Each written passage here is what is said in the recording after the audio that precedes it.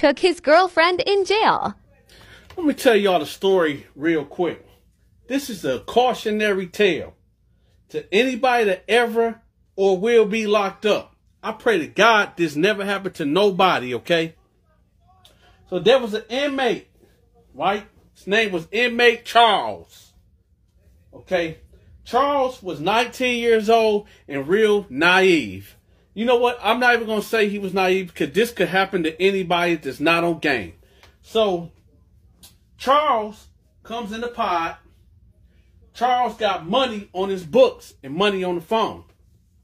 So this guy, he be watching Charles.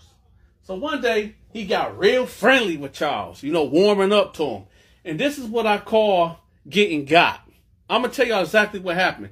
He basically he asked Charles could he do a three way for somebody. He watched Charles put in his pin number and he memorized Charles' pin number. So then he started using the phone, calling other people off of Charles' account, basically. But let me give y'all the story, and I'm gonna tell y'all the story how he ended up taking Charles' girlfriend.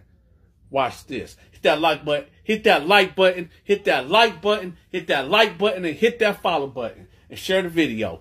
So he get real friendly with Charles, right? Hey Charles, my boy. That ain't his boy.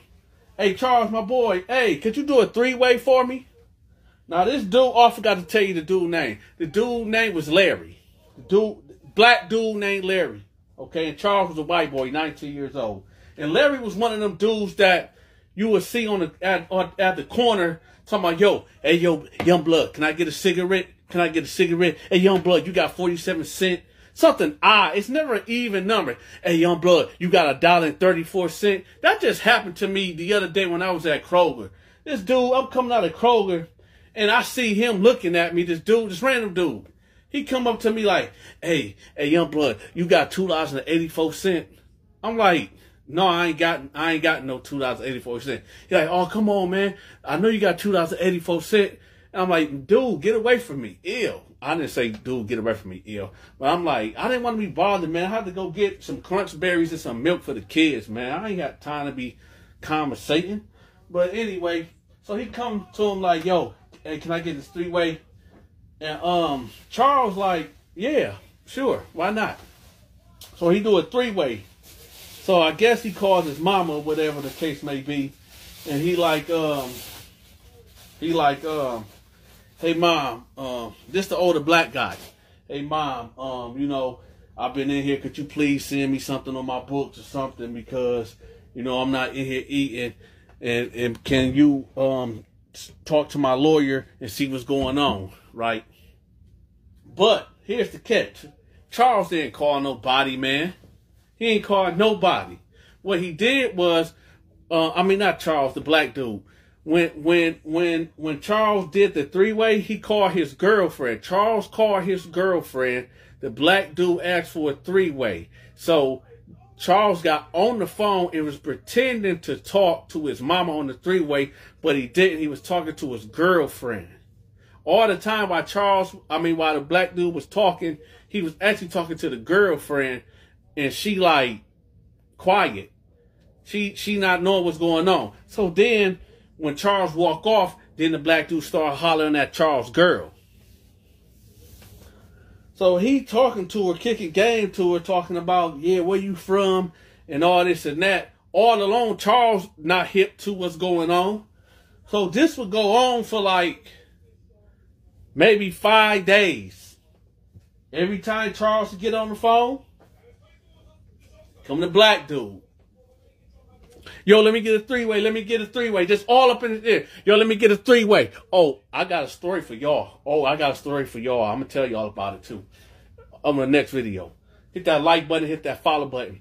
So you come over there like, yo, let me get a three way, let me get a three way. Just like clockwork.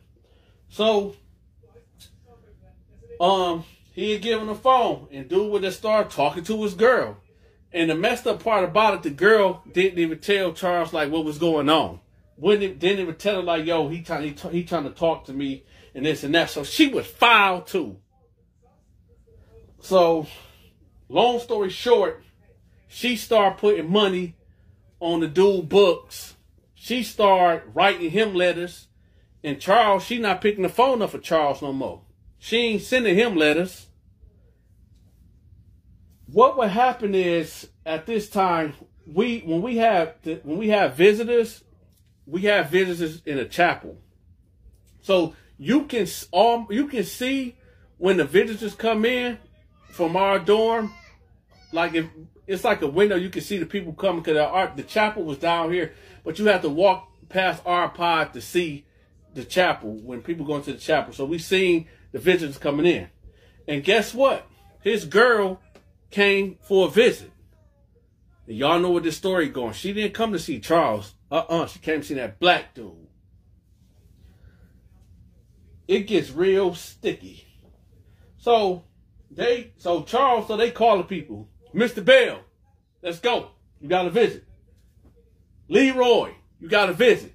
Calvin, you got a list. They call the people to come for a visit, right? They don't call him. You don't never hear Charles, but you hear that black dude name. So he like, man, my girl here, is she seeing somebody else? Like, does she got a relative in here?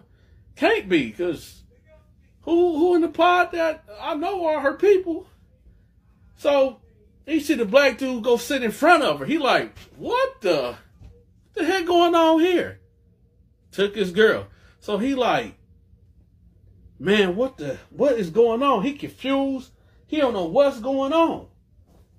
So after the, the visit over, he run up on him. He like, yo, what was that? What was you doing talking to my girl? Why, why is she here to see you? He looked him up and down like, that's my girl. He like, what you mean that's your girl? He said, that's my girl. You can't hear? That's my girl. Now, Charles was kind of timid. And Charles didn't want to fight. Charles looked like he never got into a fight in his life. So the black dude is barking on him. I mean, barking on him.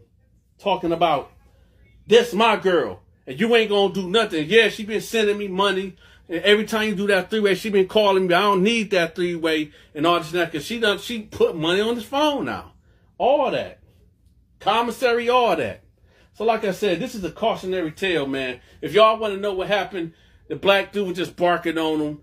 Um, he Charles ended up going to the CEO saying that he feared for his life and he checked out of our pod. That's what happened. It wasn't no fight. It was just a lot of yelling and shouting, mainly from the black dude barking on the little young white dude.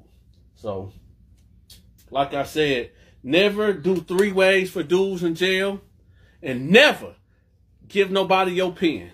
All right? Hit that like button, hit that follow button, share the video, hit the cash app up. I'm out.